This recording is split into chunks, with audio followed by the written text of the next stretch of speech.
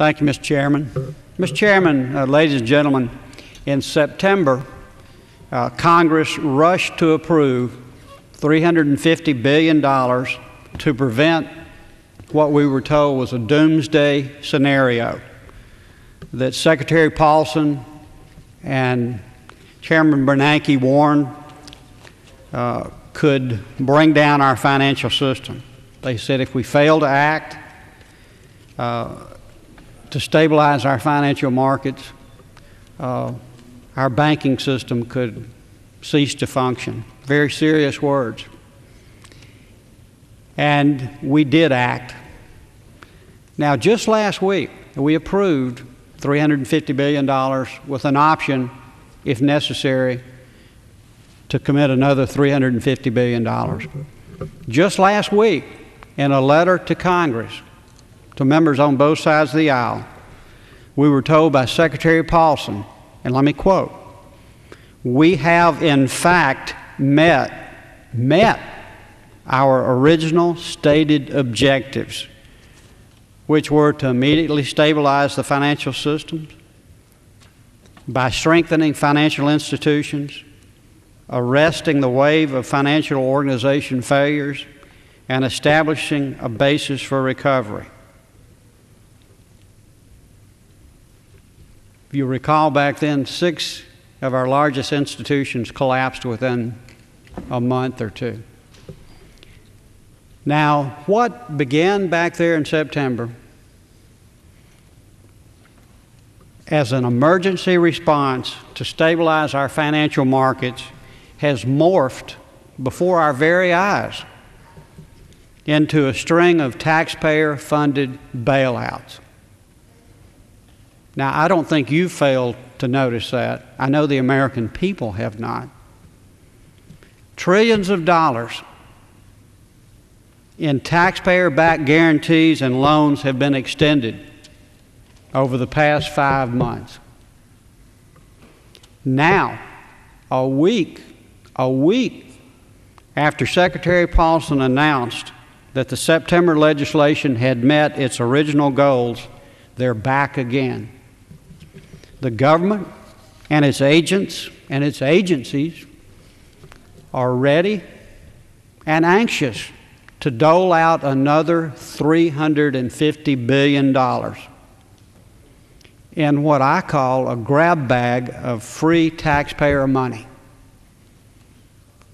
But before the government and the new Obama administration can spend this additional $350 billion, they are required, required by law, to submit a detailed plan telling the Congress just how they intend to spend the taxpayers' money. They are required to tell us not only how they intend to spend it and what they're going to do with it, but they're to go into detail. I would think that means the purpose of each program, the amount of money, the recipients, the amounts, and perhaps whether AIG is included, how much is going to them. At a time when Americans, our families, our constituents are struggling to make ends meet, to make their mortgage payment, that's only fair. We need to be informed. It's a duty we ought to take seriously. We need the facts. We need all the facts, not just some talking points, just not some broad suggestions. Not only do we need to know to look at it as we require them to do, the American people deserve no less. We do know some things. We do know that special interest groups and their lobbyists are lined up to grab their piece of a very expensive taxpayer funded pie. They're calling on most of us and have this week. They're ready, they're anxious. There's a sense of urgency there. They want a piece of the taxpayer. And we know for sure that Chairman Barney Frank's bill before us today isn't going anywhere. With or without amendments. Not going anywhere. The Senate has repeatedly indicated that they have no intentions of taking it up, much less passing it. Is that my interpretation? No, let me quote the chairman of the Senate Banking Committee. Congress doesn't have time to take up Chairman Frank's plan to spend the money. We've had the Paulson plan, now we've got the Frank plan, and I guess we've got the Obama plan. But the Frank plan is never going to see the light of day. The chairman of the Senate Banking Committee came back. He was asked to clarify, and he again reiterated. He said, trying to flesh out a bill form is really impossible. We just don't have the time to do it. We're not going to do it. Not going to happen. What about the detailed plan required, requiring the administration to tell us how they intend to spend these additional billions, hundreds of billions of dollars of taxpayer money. A requirement that was essential in convincing members to vote for the bill in September. We're not going to vote for it. We're not going to pass it unless we get a detailed plan attached to the request telling us where it's going, telling us who's getting it, telling us how much, giving us detailed terms. Well, Mr. Chairman, we don't have that plan. Here is what we have. Here is what's attached to this request for $350 billion. All we have is these 322 words. Mr. Chairman, that's more than a billion dollars per word. And what did we get? we get a document that basically consists of six talking points, some of which sounds good, but nothing to inform us or the American people as to how the money will be spent.